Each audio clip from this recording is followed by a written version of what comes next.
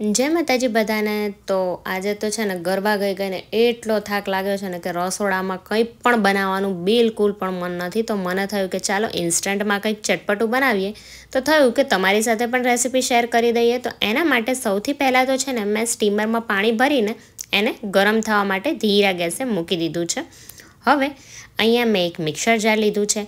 એમાં આપણે છે ને અડધો કપ જેટલો ફુદીનો લઈ લઈશું. એને મેં સરસ ધોઈને આ રીતે ચૂંટી લીધો છે અને સાથે અડધા કપ જેટલા જ આપણે એમાં ધાણા ઉમેરવાના છે. ધાણા છે ને મેં ડાળખા સાથે જ લીધા છે. ડાળખાની ફ્લેવર ખૂબ સરસ આવે છે આમાં અને આ રીતે મોટો મોટો એને કાપી લઈશું ધાણાને. સાથે એમાં ત્રણ નંગ જેટલા અહીંયા મેં તીખા જે લવિંગિયા મરચાં આવે ને એ લીધા છે. અત્યારે હું ઓછું તીખું બનાવી રહી છું. તમે અહીંયા છે ને પાંચથી છ જેટલા લવિંગિયા મરચાં લેજો. જેટલું તીખું હશે ને એટલું ખાવામાં વધારે ટેસ્ટી લાગશે. સાથે એક ચમચી જેટલો આપણે એમાં પાણીપુરીનો મસાલો ઉમેરવાનો છે.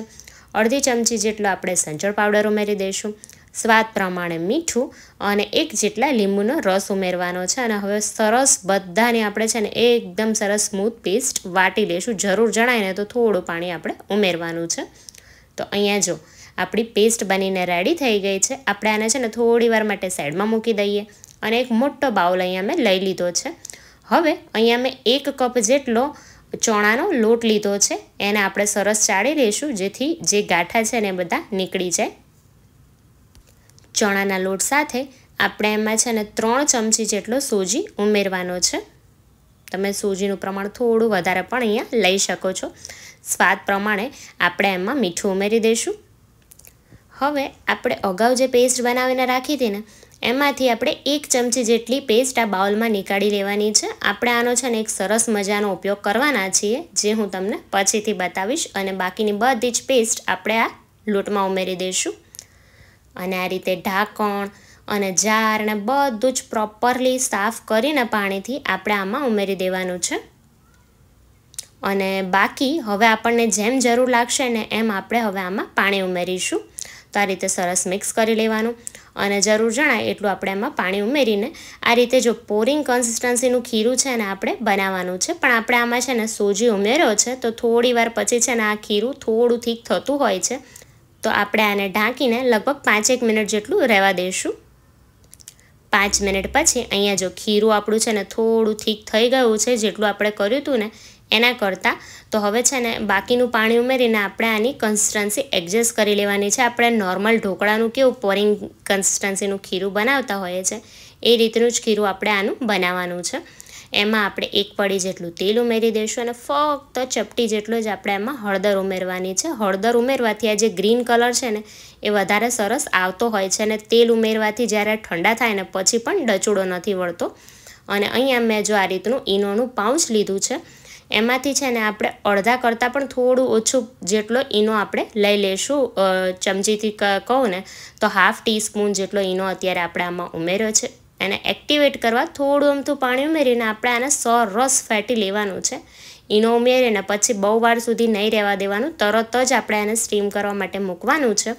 તો અહીંયા મેં જો એક પ્લેટને સરસ તેલથી ગ્રીસ કરી લીધી છે અને સ્ટીમર તો પહેલાં જ આપણે ગરમ થવા માટે મૂકી દીધું હતું તો એ એકદમ સરસ એ ગરમ થઈ જ ગયું છે. તો હવે ફટાફટથી આપણે આને છે ને સ્ટીમ થવા માટે મૂકી દઈએ. અને આપણે આને છે ને હાઈ ફ્લેમ ઉપર દસથી પંદર મિનિટ જેટલું સ્ટીમ થવા દેવાનું છે.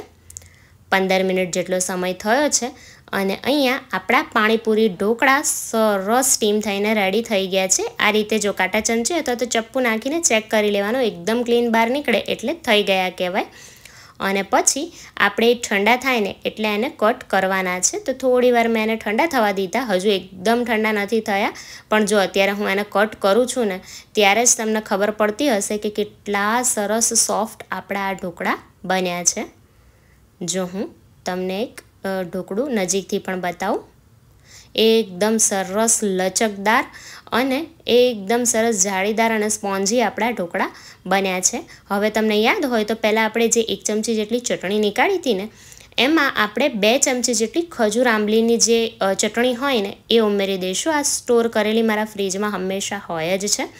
બધું જ સરસ મિક્સ કરી લેવાનું છે. અને એમાં અડધી ચમચી જેટલો આપણે ચાટ મસાલો ઉમેરી દઈશું. તો અહીંયા ઓલમોસ્ટ બધી જ તૈયારી થઈ ગઈ છે. તો ફટાફટથી આપણે આપણા પાણીપુરી ઢોકળાને એકદમ અલગ જ રીતથી સર્વ કરી દઈએ કે જેના હાથમાં પણ પ્લેટ આવે ને એને જોઈને જ ખાવાનું મન થઈ જાય. તો આ રીતે ઢોકળા મૂકીને આપણે જે પેસ્ટ બનાવીને એ આપણે એના ઉપર લગાવી દેવાની છે. જો તમને વધારે ટેસ્ટ એનો ભાવતો હોય તો વધારે લગાવવાની તો થોડી થોડી લગાવવાની. ઉપરથી છે ને થોડી આમથી સેવ ભભરાવી દઈશું અત્યારે મારી પાસે આ તીખી સેવ જ હતી, તો મેં એ લીધી છે. તમે નાયલોન સેવ પણ અહીંયા લઈ શકો છો. થોડી આમથી બૂંદી ભભરાવી દઈશું તો જોતાં જ ખાવાનું મન થઈ ગયું ને, તો એકવાર મારી આ રીતથી આ પાણીપુરી ઢોકળા બનાવીને ચોક્કસથી ટ્રાય કરજો અને પછી મને કહેજો કે કેવા લાગ્યા તમને. અને જો આજની મારી આ મહેનત તમને ગમી હોય તો વિડીયોને લાઇક શેર કરવાનું ના ભૂલતા. તો ચાલો ફરી મળીશું આવી જ એક નવી રેસીપી સાથે. ત્યાં સુધી બધાને જય માતાજી.